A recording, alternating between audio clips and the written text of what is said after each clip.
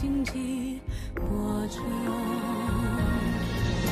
你见过我桀骜的、清晰的、赤诚的心，从被名利过，带着他的成河的笑容去奔赴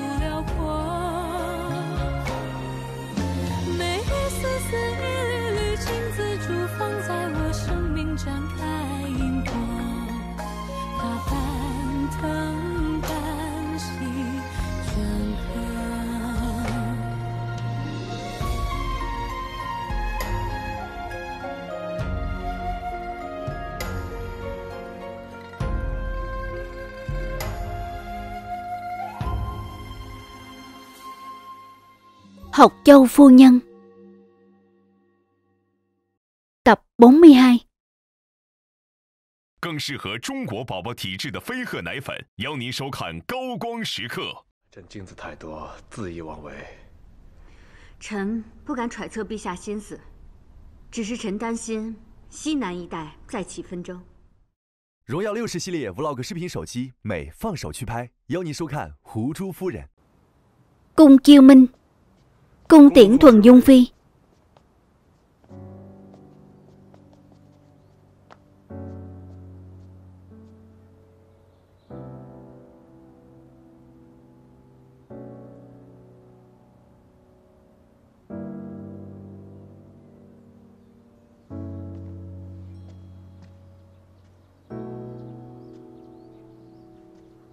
Công gia Thuần Dung Phi đi rồi sao? Hôm qua mọi người biết Thuần Dung Phi sẽ đến cung Chiêu Minh nghe công gia giảng bài. Nên đã đặc biệt sai nhà bếp làm những món điểm tâm mà người thích ăn nhất, Có cả kẹo qua quế. Tiếc là người đi dội quá, còn chưa ăn nữa. Mà thôi, Chờ lần sau người tới, Thuộc hạ lại bảo nhà bếp làm. Cô ấy sẽ không tới nữa đâu. Thử hỏi ai mà muốn. Thường xuyên nhìn thấy khuôn mặt lạnh lùng của người khác. Huống hồ nghĩ kỹ lại. Trước đây ở cung Chiêu Minh, Cô ấy cũng không suôn sẻ như ý gì. Nơi này đã không còn thứ gì đáng để cô ấy lưu luyến nữa. Công gia, Bên ngoài lạnh lắm. Ngày về đi đã. Chỗ này cứ để thuộc hạ dọn. Không sao, Chỗ này có ta rồi. Ngươi đi làm việc của ngươi đi. Dân, công gia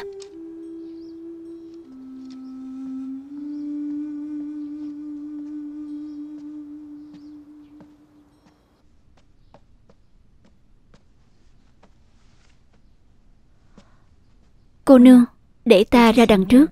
Lấy số đo mà dương nữ để lại cho người. Tô Di, Không cần đâu. Người ra đằng trước làm việc đi.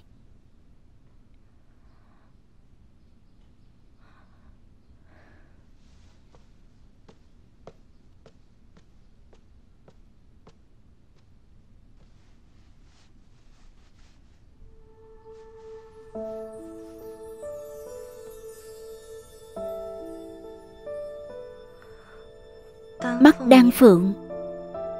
Mũi thẳng, Đường nét sắc sảo. Ánh mắt kiên định. Phương Trác Anh Trác Anh.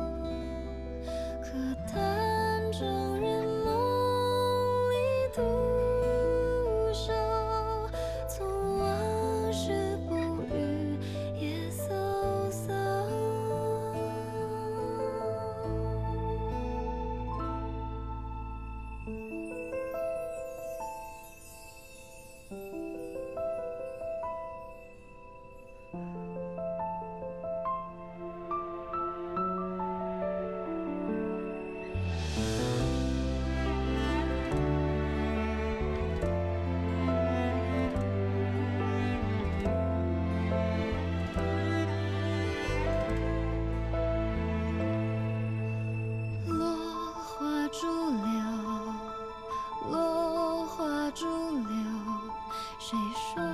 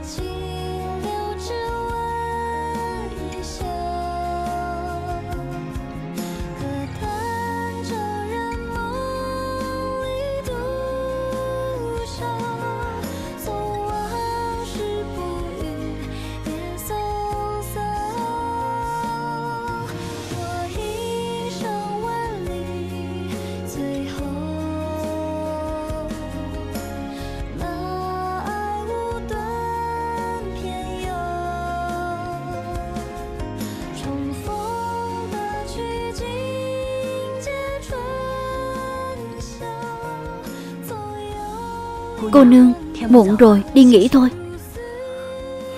Không sao Người đi nghỉ trước đi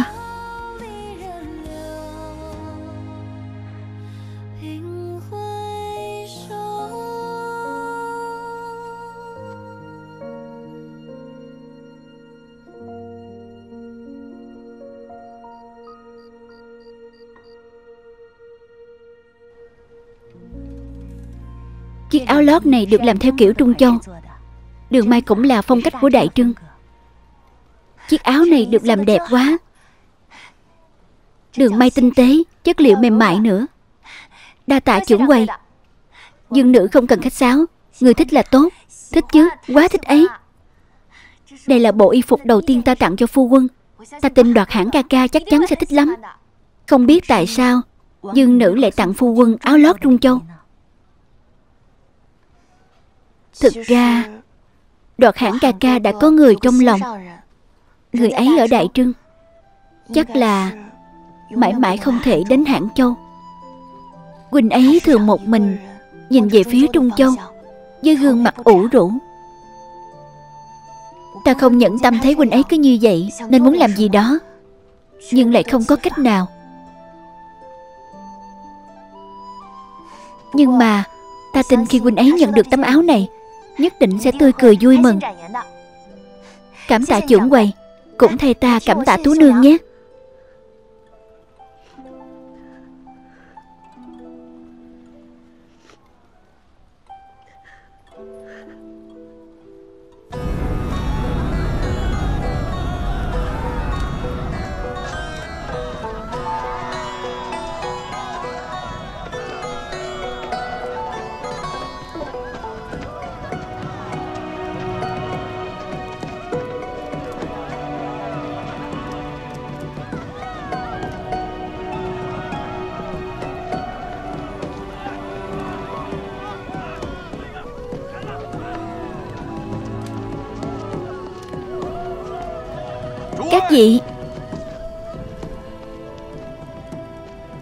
Nguyệt nhi của ta. Hiền tế của ta. Hôm nay, Ta sẽ giao con gái cưng của ta Tháp lạp cho con. Từ nay về sau, Thảo Nguyên Hãn Châu, Ngựa phi nước đại băng đến đâu Thì đó là thiên hạ của con. Nơi có tháp lạp dịu dàng hiền thục, Chính là nhà của con.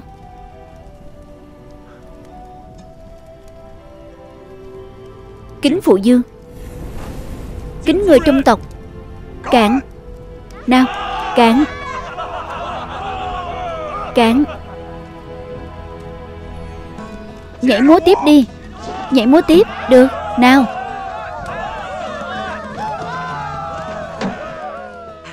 Nào nào nào. Nào, mau lại đây. Nào, ngồi đi. Nào, ngồi gần vào, Ngồi gần nữa đi. Hãy để chúng ta chúc mừng dương nữ. Chúc mừng đoạt hạng nhĩ tác. Chúc mừng dương nữ. Chúc mừng đoạt hạng nhĩ tác. Mau xin một tiểu dương nữ nhé. Không không không. Xin một tiểu đoạt hạng nhĩ tác càng tốt. Tương lai Cũng là chim ưng quai hùng trên thảo nguyên chúng ta. Đúng đấy Đúng đấy. Nó đúng lắm. Được rồi được rồi được rồi. Tất cả chúng ta đừng quấy rầy Dương nữ và đoạt hạng nhĩ tác nữa. Để cho họ nghỉ ngơi tử tế. Mau đi nào. Được. Đi đi đi. Đi thôi đi thôi. Đi uống rượu. Đi thôi. Uống rượu uống rượu. Chúc mừng nhé. Đi.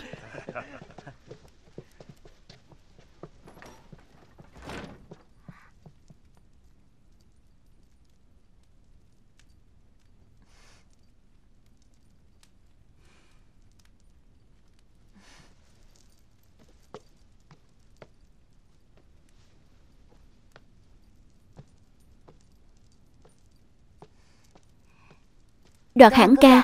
Đây là áo lót ta chuẩn bị cho huynh. Là kiểu dáng của Trung Châu đấy.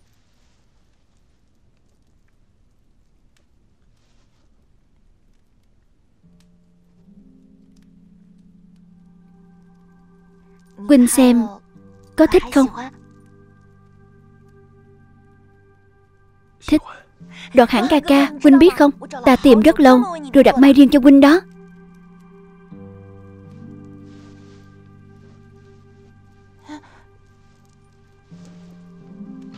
Tháp Lạp. Hôm nay là đại hôn của chúng ta, Bận rộn cả ngày trời. Muội nghỉ sớm đi.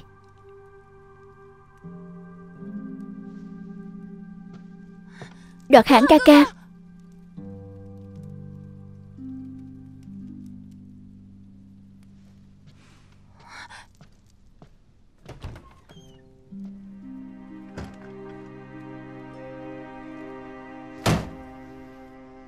Phương Trắc Anh đuổi đoạt lạc ra khỏi thành Lan Tư.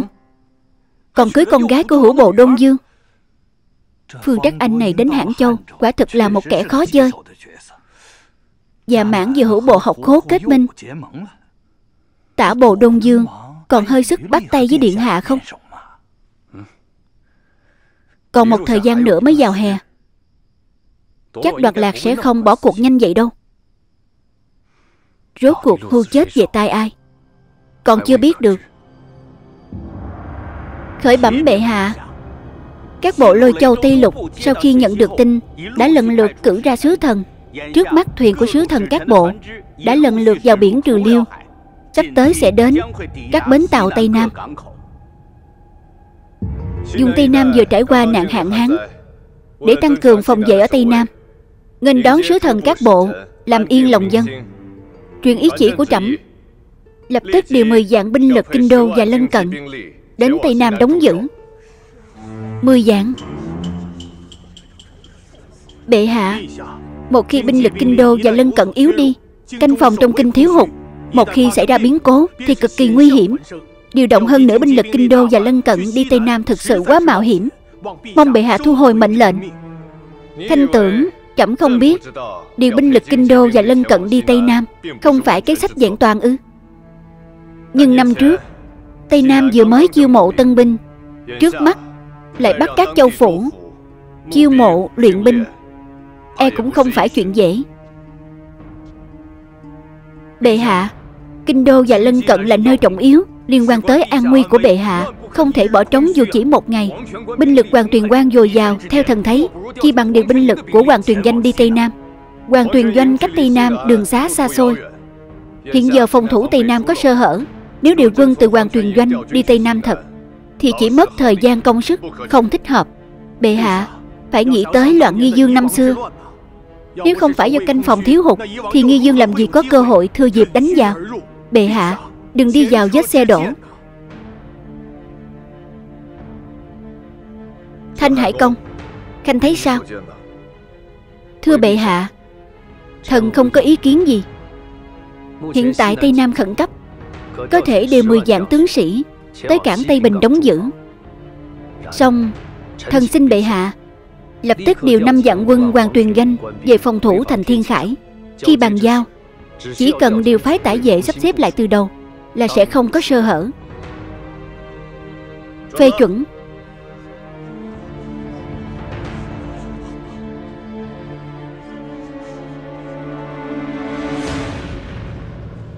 Tả vậy là để bảo vệ bệ hạ.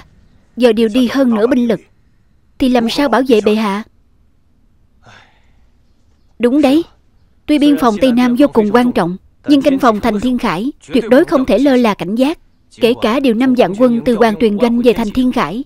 Nhưng dẫu sao đó cũng là quân khác, Sao mà quen việc, được như tả vệ đây? Công gia, Các bộ lôi châu, Xưa nay thờ phụng Long Dĩ Thần chỉ cần học châu phu nhân có thể mời Long Dĩ Thần đến thành thiên khải chúng ta, Thì các bộ lôi châu ắt sẽ cúi đầu xưng thần với đại trưng.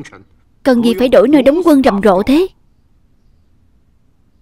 Nói đến đây, Nhiều ngày trước bệ hạ đã gửi lời mời tới các bộ lôi châu, Vì sao mãi mà không thấy học châu phu nhân? Đi nghênh đón Long Dĩ Thần. Bất luận học châu phu nhân Có đón giao nhân tới thật hay không, Phòng thủ ở Tây Nam Đều không được lơi lỏng. Nếu đón giao nhân tới thật các bộ lôi châu không thần phục. Muốn tiếp tục tấn công Tây Nam của Đại Trưng chúng ta. Vậy thì nên làm thế nào? Việc này Hà tướng quân, Dư tướng quân. Có mặt tướng. Theo ý chỉ của bệ hạ Lập tức điều 10 dạng quân tới cảng Tây Bình. Sẵn sàng chờ xuất phát không được sơ xuất Rõ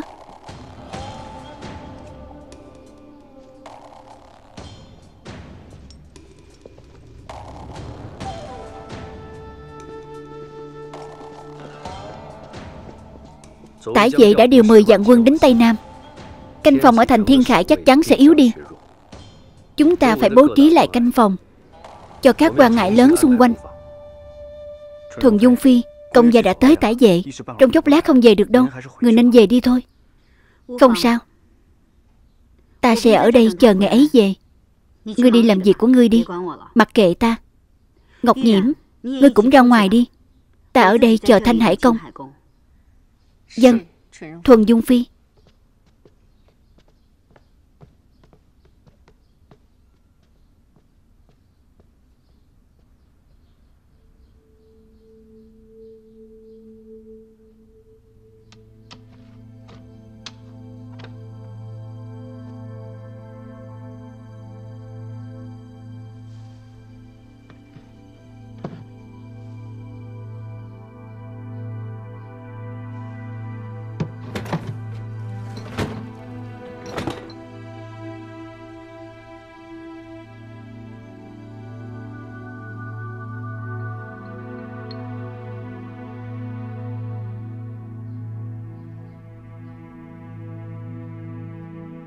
Độ bóng này Là bột ngọc dao. Sư phụ dùng nó để làm gì?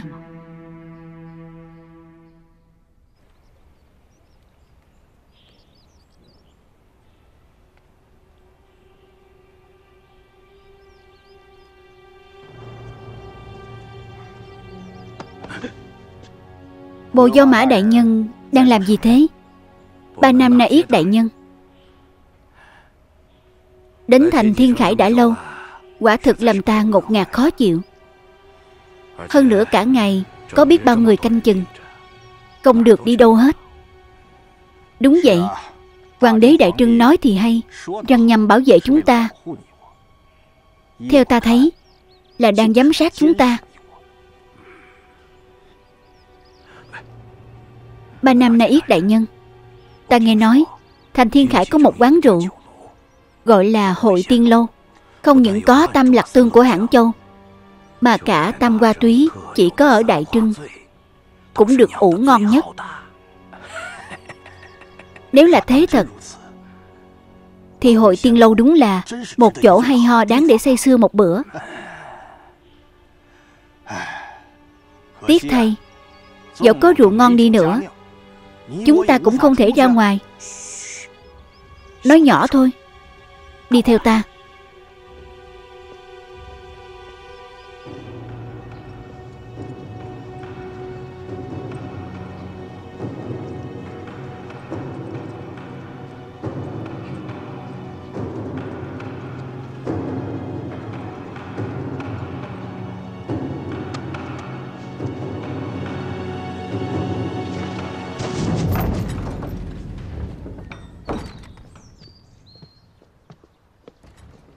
Công gia.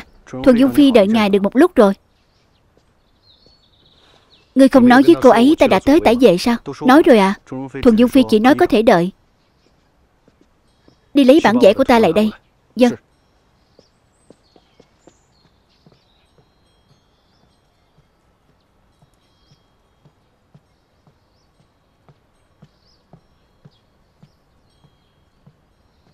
Thanh Hải Công.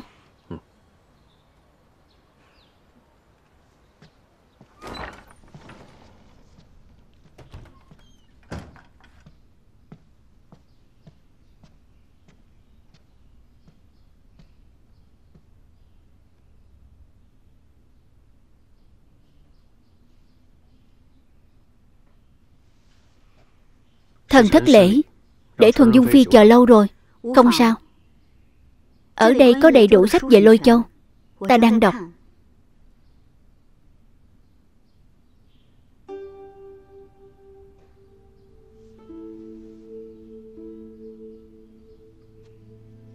Sư phụ chắc cũng không ngờ tới.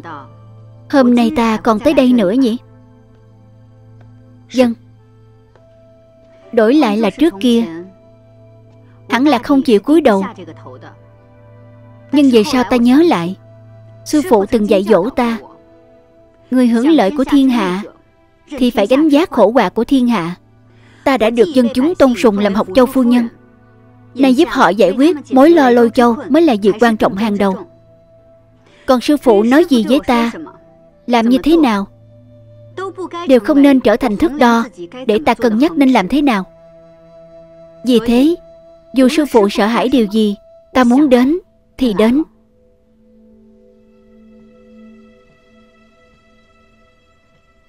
Phải. Đáng lý phải vậy. Sư phụ Ta nghe nói Thuyền của sứ thần các bộ lôi châu Nay đã lần lượt tiến về Đông Lục. Ngoài những con thuyền này ra Mỗi bộ còn có một đội thủy quân hộ tống. Hiện quân tình trên biển yếu kém các bộ lôi châu thì hùng hổ. Ta muốn nhanh chóng xin bệ hạ Ra mặt đi vô thuyết.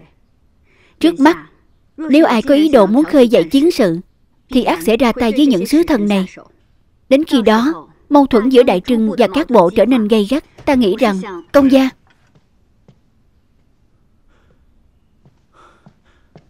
Thuần Dung Phi Công gia Nói Bộ do mã và ba nam na yết đại nhân Biến mất rồi. Cái gì Thuộc hạ lập tức cử người tìm kiếm khắp thành. Khoan đã. Không được hành động rầm rộ. Cử ám vệ. Lần theo dấu vết từ từ tìm kiếm. Dân thưa công gia.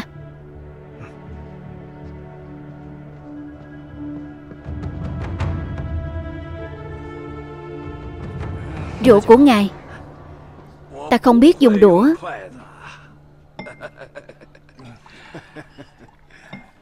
Hội tiên lâu này Quả nhiên là một nơi hay ho. Nào, Cạn Cạn.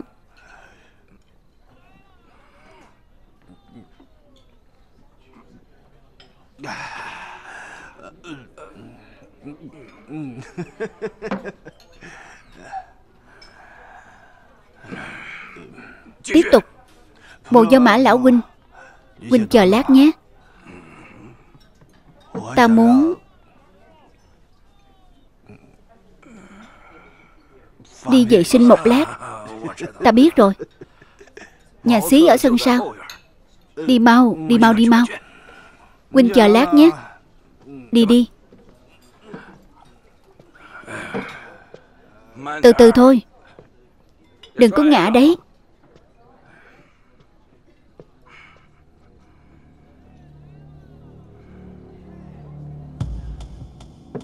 Bồ do mã đại nhân từ xa đến Xưởng dương điện hạ sợ ngài nhớ quê, Đặc biệt sai người, Đưa tới ít điểm tâm của chú Liễn.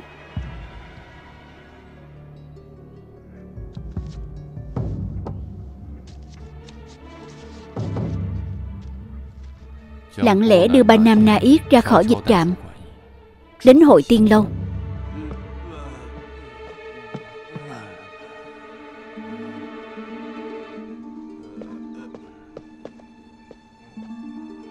Nhà xí ở đâu nhỉ? Sao tối thế này?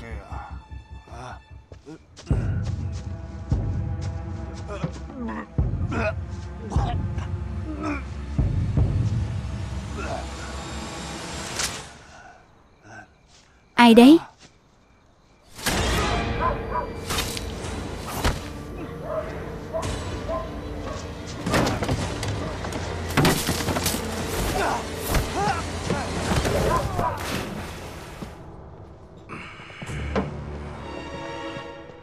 Bồ do mã đại nhân.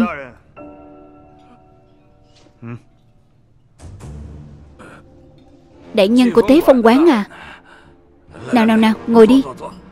Hôm nay ta mời. Đại nhân không cần khách sáo. Bọn ta còn bận công sự.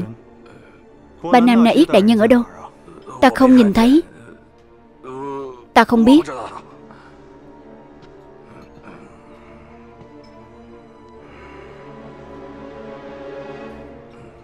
Việc xảy ra đột ngột, Bọn ta nhận lệnh bảo vệ hai vị đại nhân. Mong bồ do mã đại nhân, Mau mau nói ra tung tích của ba Nam Na Yết đại nhân. Để tránh tự gây lỗi lầm. Thêm đầu óc ta kìa. Ta nhớ ra rồi. Uống say đi ra ngoài rồi.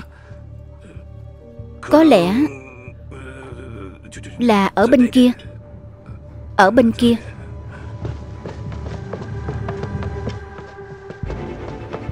Cứu mạng. Cứu mạng. Cứu mạng. Ba năm nay yết đại nhân. Nhanh. Cứu mạng. Thuần Dung Phi xin dừng bước. Bệ hạ có lệnh cấm bất cứ ai vào cung Vũ An làm phiền. Ta có việc gấp cầu kiến bệ hạ, Không thể chậm trễ. Bệ hạ từng hạ chỉ, Cho ta tùy ý ra vào cung Vũ An. Đám trung vệ quân này Không biết lựa việc gì hết. Việc liên quan tới ba nam na yết mà cũng ngăn được à? Dặn dò xuống, Sau này Thuần Dung Phi cầu kiến, Bất kể khi nào ở đâu, Đều phải lập tức thông báo, Không được ngăn cản. Tuân chỉ Giám minh ở đâu? Thanh Hải Công và vài vị đại nhân lễ bộ Đã chờ ở kính thành đường rồi. Đi thôi. Cô mau nghỉ ngơi đi. Chờ xong việc, Một nội quan ác sẽ đưa bệ hạ về đây. Trời tối rồi, Trên đường về đi từ từ thôi.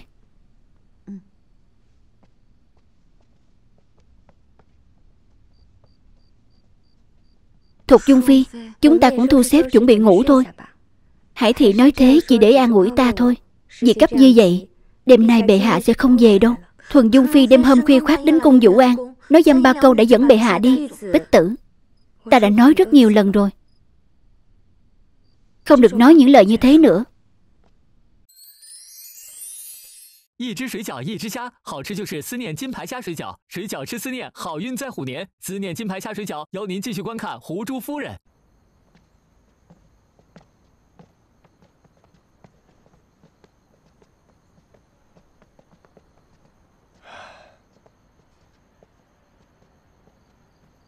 Hắn có thể tỉnh lại không Thưa bệ hạ Giống ngày ấy đã tắt thở rồi May mà Trần Trung Lan cứu chữa kịp thời Còn bón cả bảo mệnh đan mới gắn gượng được tới trong cung.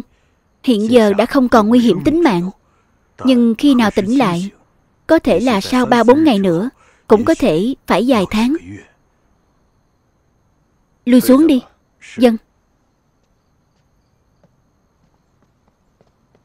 Bệ hạ Chuyện này rất kỳ lạ. Bồ do mã và ba nam na yết lặng lẽ ra ngoài uống rượu Lại còn thay đổi trang phục. Sát thủ có thể tìm được chính xác vị trí của họ hơn nữa chúng còn là cao thủ Hiện trường không để lại bất cứ dấu vết gì Chuyện này là có người Muốn mượn cái chết của ba nam na yết Khơi dậy giao tranh giữa Đại Trưng và Ni Hoa La. Nếu như vậy, dù tính mạng của hắn không đáng ngại, Ni Hoa La cũng sẽ không chịu dừng tay. Xem ra ngày mai, hai người phải cùng trẫm diễn một vở kịch, khuấy cho nước đục đã. Hoàng đế Đại Trưng, đại nhân Ba Nam Na Yết, là đặc sứ sứ đoàn Ni Hoa La, nay lại gặp thích khách hành thích ở thành Thiên Khải, đến nay vẫn chưa thấy xác. Tiểu thần đã truyền tin về Ni Hoa La. Nếu như Đại Trưng không cho một câu trả lời, thì dù Ni Hoa La nhỏ yếu, cũng bất chấp mà gây chiến với Đại Trưng. Hoàng đế Đại Trưng. Bồ Do Mã tự biết mình từng ăn nói hàm hồ. Kể tội hoàng đế Đại Trưng Giống đại nhân Ba năm Na Yết Nay Ngày ấy đã chết. Chỉ mong bệ hạ Cũng cho bồ do mã chết dứt khoát. Xin trẫm cho ngươi chết dứt khoát ư. Bồ do mã không có kẻ thù ở Đại Trưng. Nếu không phải kể tội ngài, Thì làm gì có sát thủ hành thích? Nếu bệ hạ không chịu, Thì xin lập tức giao sát thủ ra, Để chứng tỏ Đại Trưng quang minh lỗi lạc. Được. Vậy trẫm ban cho ngươi Được chết dứt khoát. Chuyện này, Thanh Hải Công,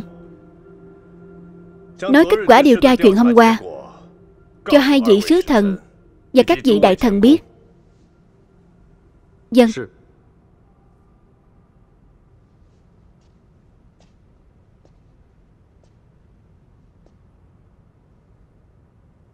Để bảo vệ sự an toàn của sứ thần các bộ dịch trạm Đại Trưng có trọng binh canh giữ.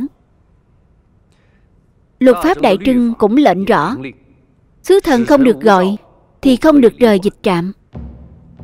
Nhưng hôm qua Bồ Do Mã Lại xúi dục đại nhân Ba Nam Na Yết Cố tình lẩn tránh hộ vệ Tự ý rời dịch trạm. Đến hội tiên lâu uống cho thỏa thích. Bồ Do Mã đợi sau khi đại nhân Ba Nam Na Yết uống say. Ý thức mơ hồ. Lại lừa ngày ấy đến hậu viện đèn đuốc nhập nhèn Lúc này, Sát thủ đang đợi ngày ấy ở đó. Bồ Do Mã là đặc sứ chúa liễn cao quý. Cử chỉ không đứng đắn, Hành vi lại kỳ lạ. E người phải giao sát thủ ra, Không phải Đại Trưng, Mà là Bồ Do Mã. Ngươi ngậm máu phun người. Khi ngươi chỉ đường đến hậu diện, Hội tiên lâu có người nhìn thấy. Ngươi trộm hai bộ đồ của người hầu, Cũng có người làm chứng. Đấy là chỉ cho ba nam na yết đại nhân biết Hướng của nhà xí. Huống hồ, Đến hội tiên lâu uống rượu, Cũng là ngày ấy ép ta dẫn ngày ấy đi. Nói láo, Tuy đại nhân ba nam na yết thích rượu, Nhưng dịch trạm cũng có rượu ngon, Sao phải ép ngươi? Ngày ấy mua uống rượu hãng châu, Trong dịch trạm không có thì phải làm sao? Không thể nào. Sứ thần bộ ta Sẽ tuyệt đối không vì rượu mà phạm luật. Nhất định là ngươi, Đủ rồi. Các ngươi mỗi người mỗi ý, Cũng không tranh cãi ra kết quả gì. Chi bằng, Đợi đến khi ba Nam na yết tỉnh lại, Hỏi ông ta là được.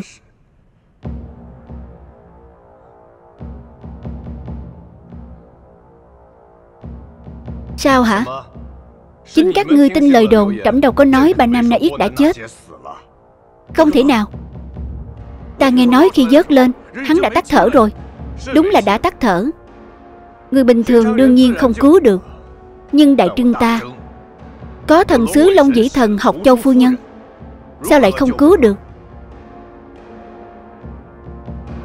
Hôm qua, Đúng là tình trạng của đại nhân Ba Nam Na Yết rất nguy hiểm. Nhưng may là đại nhân tinh thờ Long Dĩ Thần, Ta cầu nguyện cho ngày ấy một đêm. Bây giờ đại nhân Đã không còn nguy hiểm tính mạng, Có điều bị thương nặng lại đuối nước. Bây giờ vẫn nằm trong cung chiêu minh nghỉ ngơi. Nếu là như vậy, Tiểu thần có thể thăm nơm không? Đương nhiên. Phó sứ có thể đến thăm bất cứ lúc nào. Ta sẽ đưa ngài đi. Như vậy rất tốt. Tiểu thần, đa tạ học châu phu nhân, Miễn lễ. Đại Trưng và Ni Hoa La giống chung nguồn cội.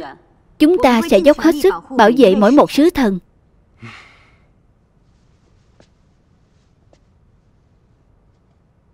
Bệ hạ, Đại nhân Ba Nam Na Yết bị hành thích. Bồ Do Mã khó thoát khỏi hiềm nghi. Hắn đã làm trái luật lệ Đại Trưng. Xin bệ hạ Nhốt vào ngục tra rõ Và gửi công hàm cho dương quân chú liễn Cử đặc sứ mới đến diện thánh. Tiểu nhân bị quan. Tiểu nhân bị quan. Sưởng dương! Ngài cứu ta đi. Cứu ta đi.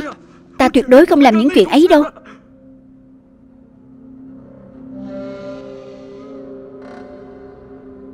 Bệ hạ. Tuy đại nhân Bồ Do Mã có hiềm nghi Nhưng tạm thời Vẫn chưa có chứng cứ xác thực Có thể giáng tội. Hơn nữa Ngày ấy là đặc sứ chú liễn. Lỡ như đổ quan Thì không tốt đâu. Quý xưởng. Vậy theo đệ thấy Phải làm sao? Theo thần đệ thấy Mấy hôm nay Hoàng Huynh Có thể cấm túc đại nhân Bồ Do Mã Ở trong dịch trạm. Người ngoài không được gặp ngày ấy. Đợi mấy hôm nữa Đại nhân Ba Nam Na Yết tỉnh lại Chúng ta đối chất tra rõ sao? Cũng được. Nhưng Hắn không thể đảm nhận chức sứ thần nữa. Bảo chú liễn cử thêm một đặc sứ đến. Dân Tạ ơn bệ hạ. Tạ ơn bệ hạ. Bệ hạ Thần thiếp có một lời khuyên. Nói Thiên Khải sắp đón sứ thần các bộ. Đông người phức tạp Để đảm bảo an toàn cho người Của sứ thần các bộ. Xin bệ hạ Tăng cường canh phòng ở dịch trạm Để đợi vào hè. Đúng là nên làm như vậy. Nhưng Cử ai đi đây? Thưa bệ hạ, Sưởng Dương Điện Hạ Ở chú liễn nhiều năm. Rất am hiểu tập tục lôi châu. Thần muốn đề cử sưởng Dương Điện Hạ Phụ trách bố trí an toàn ở dịch trạm. Quý xưởng Đệ có ý kiến gì không? Cuối cùng thần đệ cũng có thể góp sức cho triều đình rồi. Thần đệ sẵn lòng. Thần đệ nhất định hết lòng hết dạ tiếp đón. Bảo vệ thật tốt sứ thần các bộ. Chuẩn.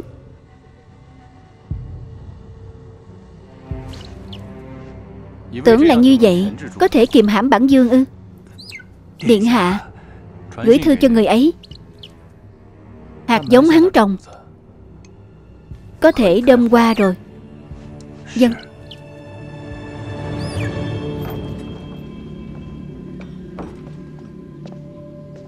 Công gia Công gia vất vả rồi, Còn phải đích thân đi một chuyến Vì chuyện đổi canh phòng ở dịch trạm Để thuộc hạ đi không phải được rồi sao? Chỉ là muốn xem thử phòng của bà Nam Na Yết Có manh mối gì hay không.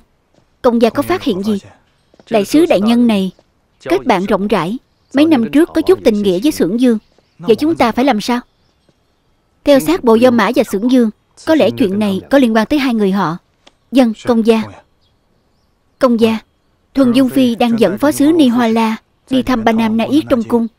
Ngài có muốn đi xem thử không? Không cần đâu. Dân, thuộc hạ cáo lui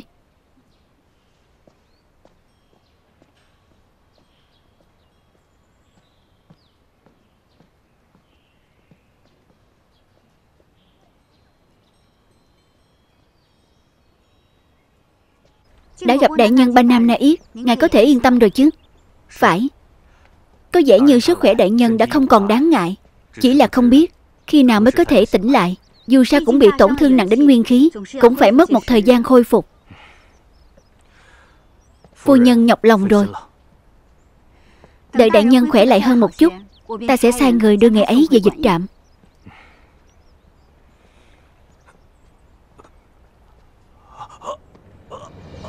Phó sứ. Phó sứ. Phó sứ, ngày sao vậy? Mau, đi mời người y. Dân.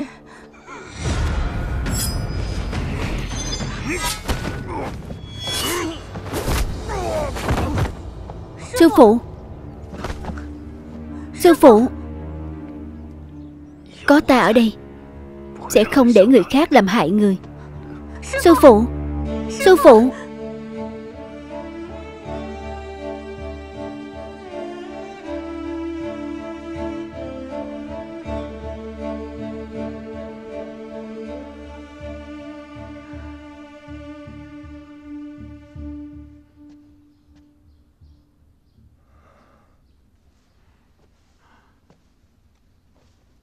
Thưa bệ hạ Thanh Hải Công bị thương ở cánh tay, Chứ không phải tâm mạch, Đã kịp thời cầm máu.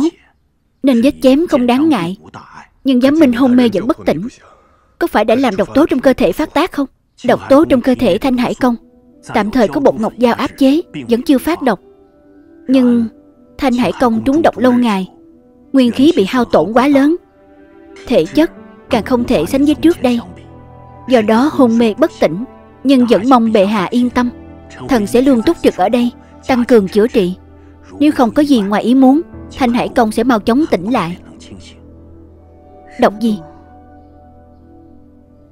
Rốt cuộc có chuyện gì vậy?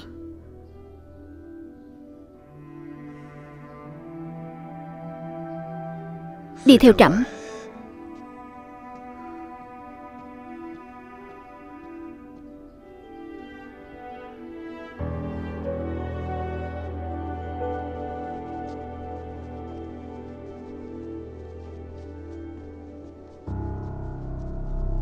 Tất cả đừng đi theo nữa.